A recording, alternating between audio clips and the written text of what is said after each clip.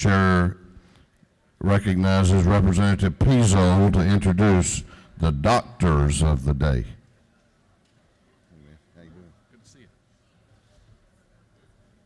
Good morning. It is my pleasure to introduce uh, Dr. Eugene Schaufler.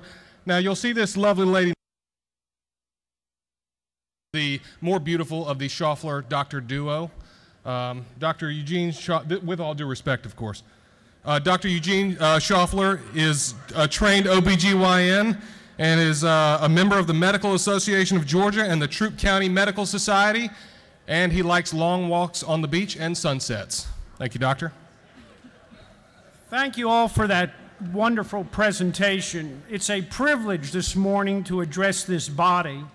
As mentioned, I'm Eugene Michael Schaufler, and this is my wife, Margaret Schaufler, and we practice in LaGrange, Georgia. We recently became part of West Georgia Health.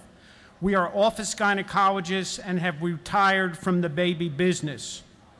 I was born a Yankee, but I'm a Georgian by choice.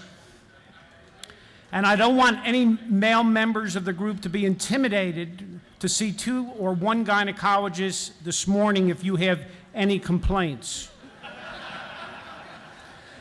And we would, uh, we are most proud of you all with the work that you- do for the citizens of Georgia and also for the doctors of Georgia.